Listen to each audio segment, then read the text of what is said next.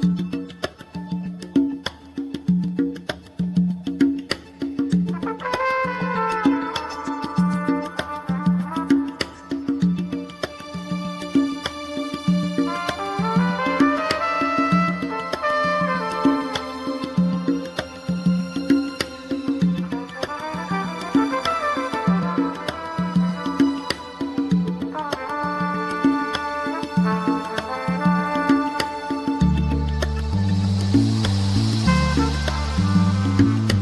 Everything we've done is forgiven.